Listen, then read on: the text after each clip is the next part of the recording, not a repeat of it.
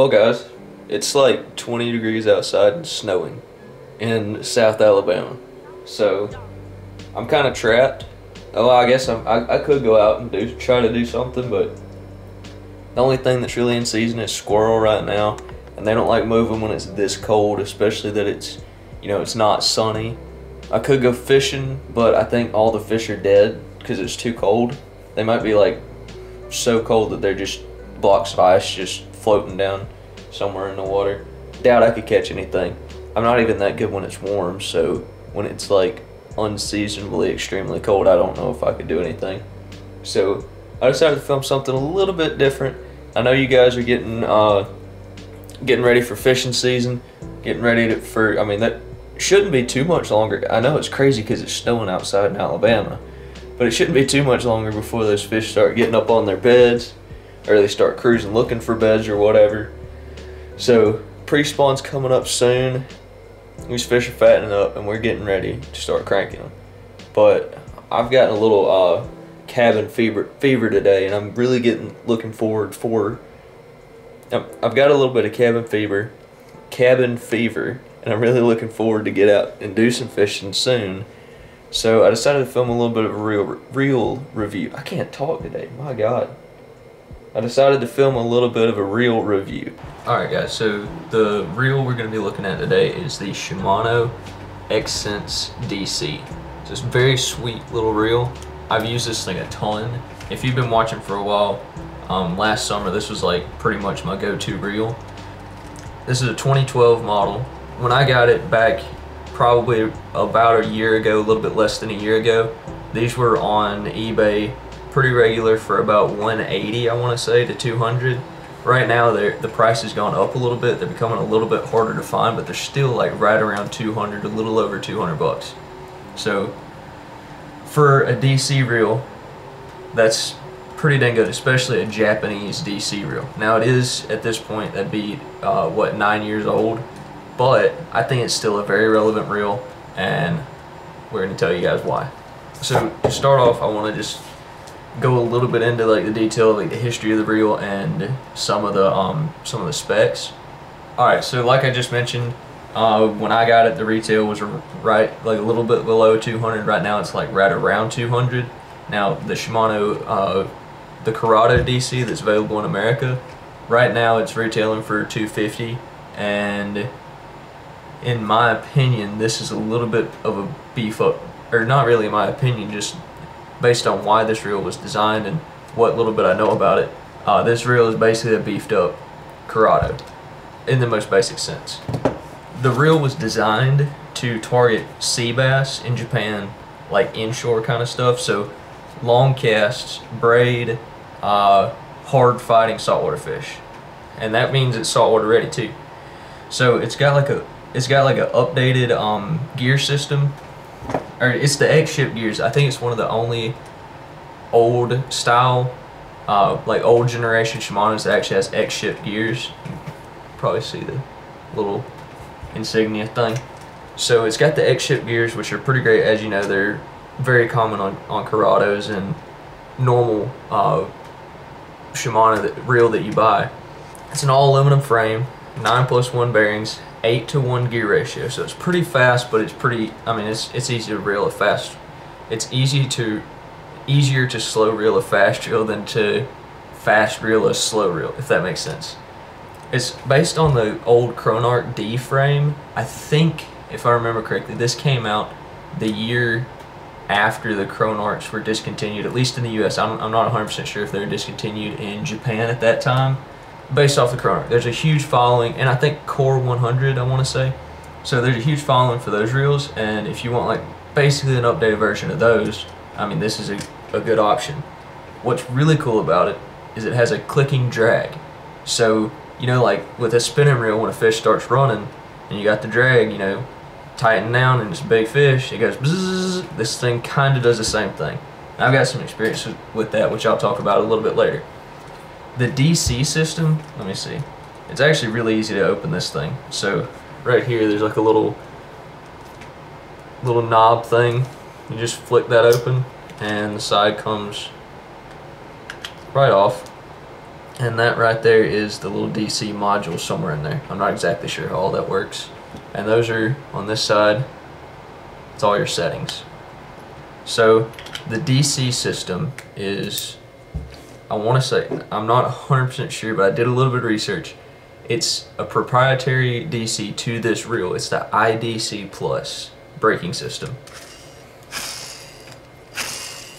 Hopefully you could hear that a little bit. It's a little bit quieter than a than a, a Curado DC, which most people don't like that. I mean, I just like the sound. Whether it's you can barely hear it or it's pretty loud, I, I like the sound. I think most people, most bass fishermen can agree that that sound is just something else. And as I mentioned, saltwater ready. Some the bearings are treated with like a anti-corrosion something or other coating or whatever. Uh, it's got as I mentioned, X-ship gears. I'm pretty sure they're made out of brass or something along those lines.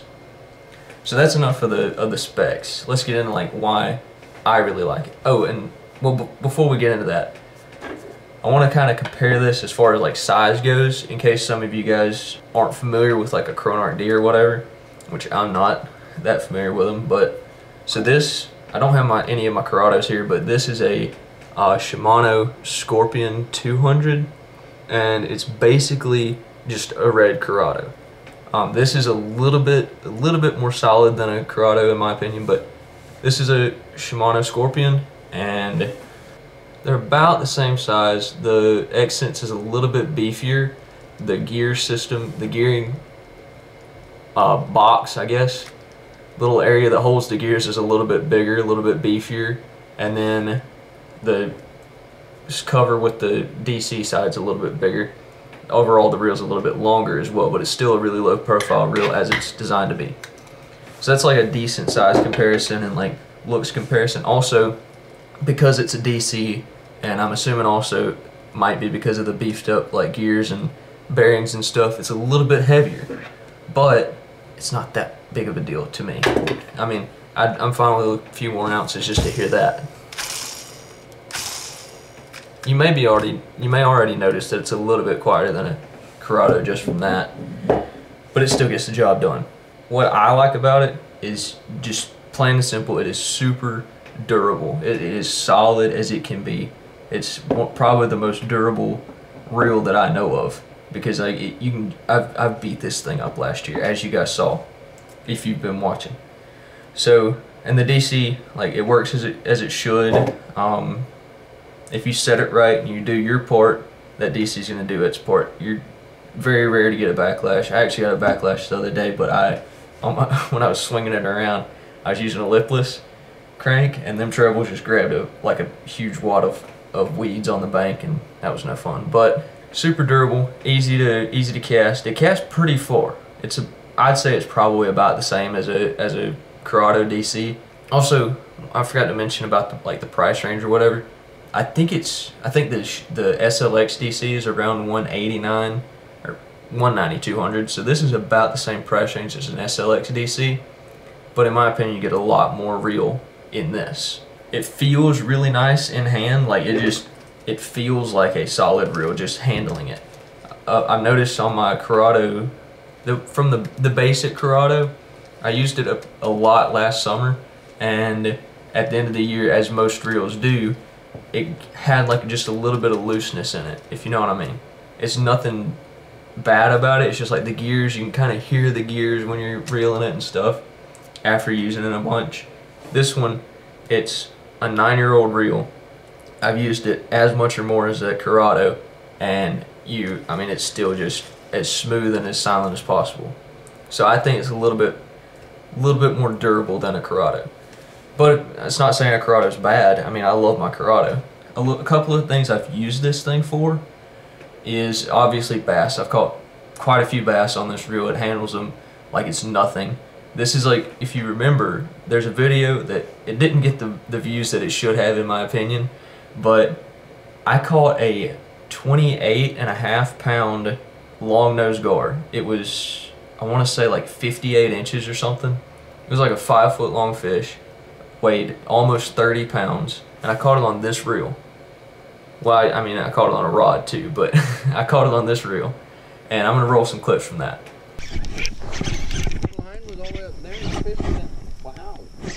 This is a good one. He's pulling drag. Yeah, he's right here. Grab that rag. Grab that rag.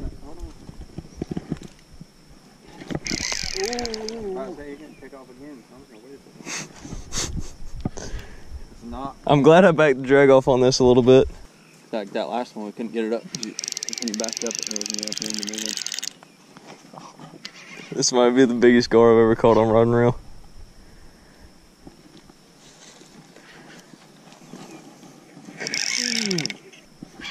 a big fish, man.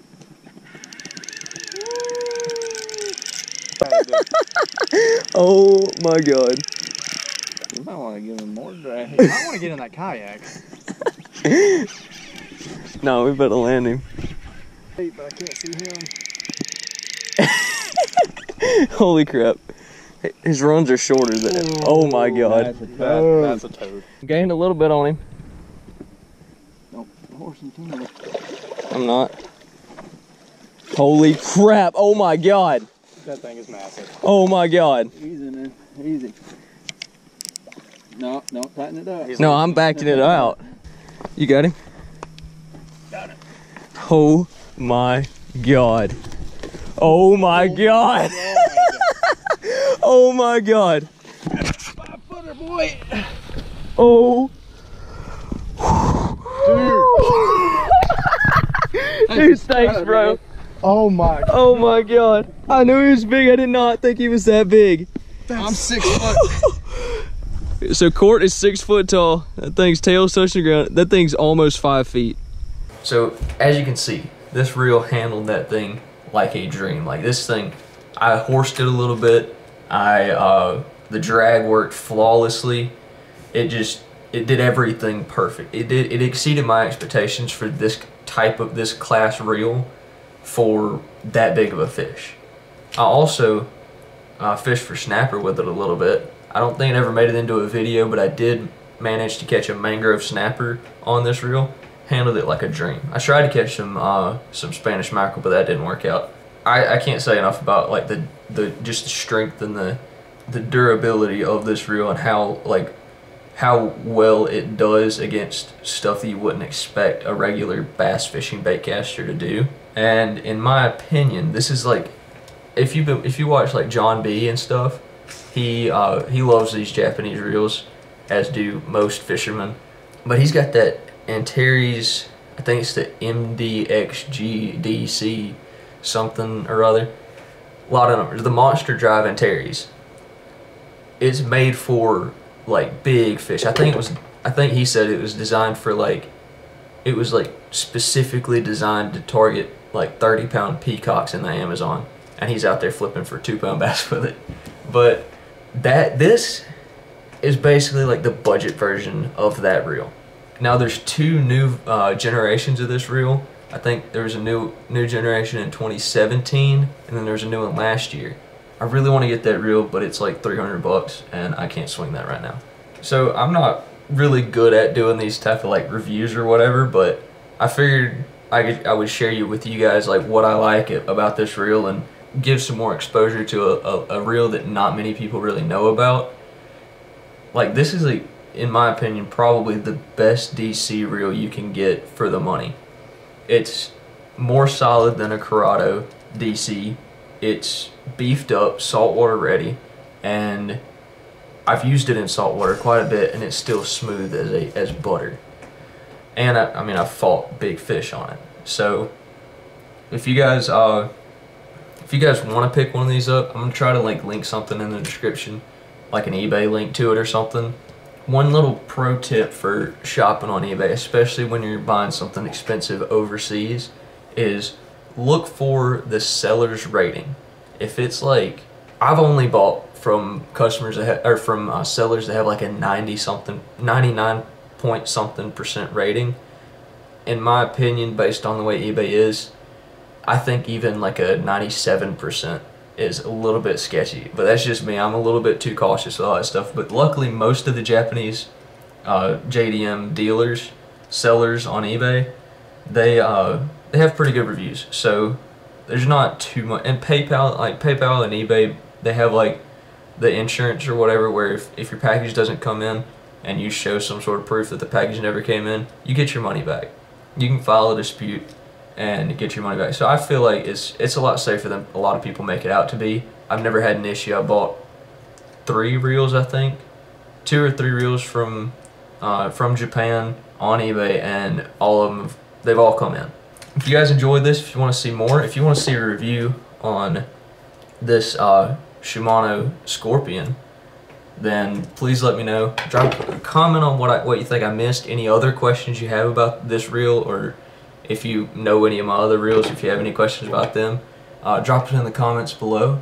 And hopefully, before too much longer, we can start ripping some lips. Always remember to live like 25 high. We'll see you next time.